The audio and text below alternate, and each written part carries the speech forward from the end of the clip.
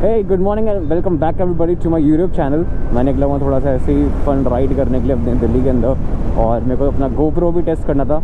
As you know I have bought a brand new camera for my moto vlogs this is the GoPro 11 and इसी को test करने में आज बाहर निकला हुआ था थोड़ा सा और ज़्यादा। ये कितनी लॉन्ग मेरे को क्लिप रिकॉर्ड करके दे सकता है in the settings of four K sixty F P S and ये जो 16 एम mm का इसका सुपर um, व्यू है उसके अंदर। One of the last videos में मैंने कुछ बोला था जो स्लीव्स यूज़ कर रहा हूँ ये स्लीव्स जो है वो इतने ज़्यादा सक्सेसफुल से नहीं है मतलब टैनिंग वगैरह के हिसाब से या फिर जो भी मतलब कंफर्ट एक इनको पहनने में बहुत वियर्ड सा लगता है मेरे को अच्छी नहीं लगती। तो इंस्टेड ऑफ़ दैट इंस्टाग्राम पे एक कंपनी की जैकेट बहुत ज़्यादा फ़ेमस हो रही है। मैं मेंशन कर दूँगा स्क्रीन पे कि कंपनी का नाम क्या था और वो जैकेट जिसकी मैं बात कर उसका नाम क्या था। हंड्रेड परसेंट श्योर हूँ कि आपने उसका एडवर्टीजमेंट देखा होगा, बहुत ज़्यादा ही एडवर्टीज़ कर रहे हैं उसको। वो रिव्यू करने के लिए आप लोगों को मैंने ऑर्डर कर दिया है और वो आ भी जाएगी सेवनटीन तक। कुछ जगह पे बहुत ज़्यादा ख़राब है।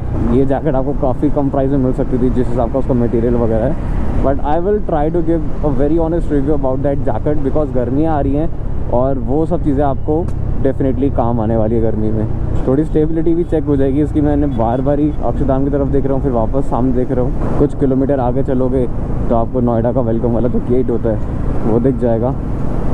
बचपन में तो ऐसा होता था कि वो गेट देखना इज़ लाइक कि यार मैं कितनी दूर निकल आया हूँ अपने घर से। और अब ऐसा लगता है कि दस मिनट का काम है मेरे लिए।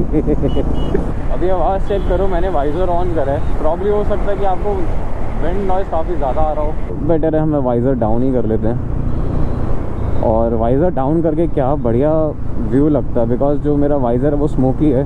This ramp is one of the favourite ramp of mind but यहाँ पर ना इतना ट्रैफ़िक हो चुका है अब आजकल, कि वो वाला मज़ा नहीं आता। अगर थोड़ा सा इनिशियल होता है। ओहो। लगता है बात बाइक को बुरी लग गई। इनिशियल चाहिए ये लो। या बट सामने ट्रैफ़िक देख लो। एक्चुअली ट्रैफ़िक हो रखा है वो बैरिकेटिंग की वजह से, जो D N D flyover के यू नो स्टार्टिंग पे लगी हुई है। वहाँ पे लगा रखा है पुलिस वालों ने अच्छी खासी फेंसिंग एंड बैरिकेटिंग फेंसिंग तो मतलब तैयारी करी हुई है, लगा नहीं रखी। साइड में सारा सामान रखा हुआ है कि एक कॉल आया और हम सब लगा देंगे। तो टेंट वगैरह लगा हुआ है। बिल्कुल स्टार्टिंग स्टार्टिंग में ये सब चीज़ें बस और कहीं नहीं है। लेट में की लिफ्ट ताकि मैं दिखा सकूँ देखो बड़े बड़े ये सीमेंट वाले बैरिकेड्स लोहे वाले बैरिकेड्स फेंसिंग एंड ऑयल और इसके अंदर बहुत सारी मिट्टी होती है आई गेस ये जो बड़ा सा वो रखा हुआ है टीन का डब्बा। And here we are no traffic nothing यहाँ पे हम तेज स्ट्रेच कर सकते हैं बट आज मन नहीं कर रहा।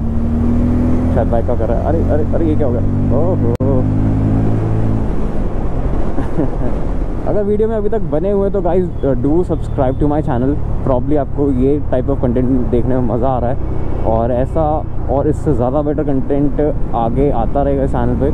सो कंसिडर सब्सक्राइबिंग दिस मुझे याद है मैंने अपने चैनल पे जो सबसे पहला वीडियो डाला था लाइक सबसे पहला, जब मैं अपनी एक्टिवा पे था लोग ऐसे ही लंबा सा वीडियो बनाया था तो वो भी शायद यही सेम रूट था और कैसा लग रहा था और अब कैसा लग रहा है? तब क्या था? मतलब फ़ोन था मेरा सैमसंग का now I am showing you same road in 4K by the way काफ़ी ज़्यादा टाइम हो चुका है रिकॉर्ड करते हुए एंड आई डोंट नो ये जो मैं सब बोल रहा हूँ या दिखा रहा हूँ, वो सब रिकॉर्ड हो भी रहा है कि नहीं।